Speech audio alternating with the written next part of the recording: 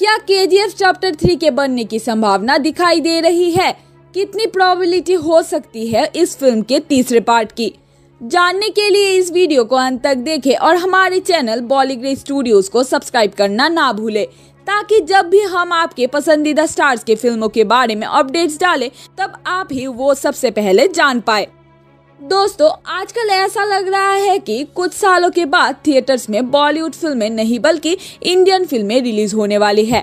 हमारे इंडिया में कितनी डाइवर्सिटी है, भाषा हो या धर्म या हो खाने का स्वाद। आशा रखते हैं कि भारत में इतने साल सांस लेने के बाद आपको इस बात का तो ताजुब नहीं होगा कि हमारे इंडिया की बॉलीवुड फ़िल्म एक साल में हॉलीवुड से भी ज़्यादा फ़िल्में बनाती है।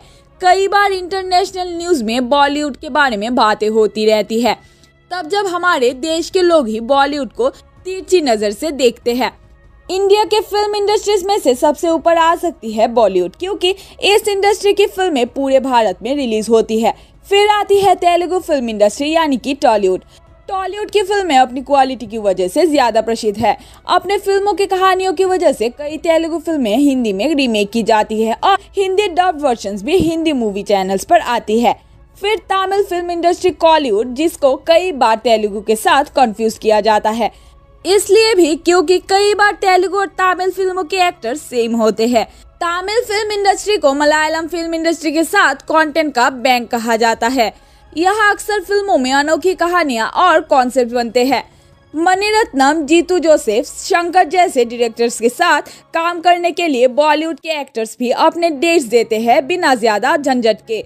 अभी भी ये दोनों फ़िल्म इंडस्ट्रीज़ देश भर में लोकप्रियता पाने लगी है। इसलिए कई सारी साउथ फ़िल्में प्रोमिनेंट फ़िल्म गोइंग स्टेट्स की भाषाओं में डब होकर थिएटर्स में रिलीज़ होने लगी है। ये भाषाएँ है तेलुगु, तमिल, हिंदी और कनाडा। बहुत जल्द बॉलीवुड के नाम से नहीं, बल्कि इंडियन फ़िल्म इंडस्ट्री के नाम से भारत की फ़िल्मों को पहचाना जा सकता है। दुनिया भर में बॉलीवुड फ़िल्म थलाईवी 83 भी तेलुगु में रिलीज़ होने वाली है। अब के को जब रिलीज़ किया गया था, तब अचानक से लोगों ने एक नए तरह से फ़िल्मों को थिएटर्स में देखा।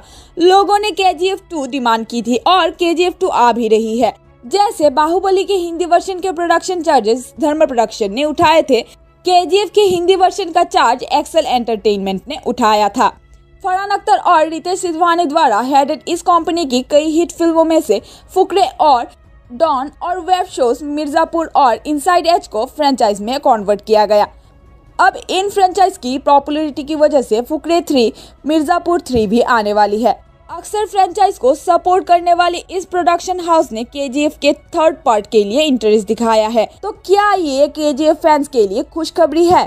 वीडियो को लाइक और शेयर ज़रूर करें।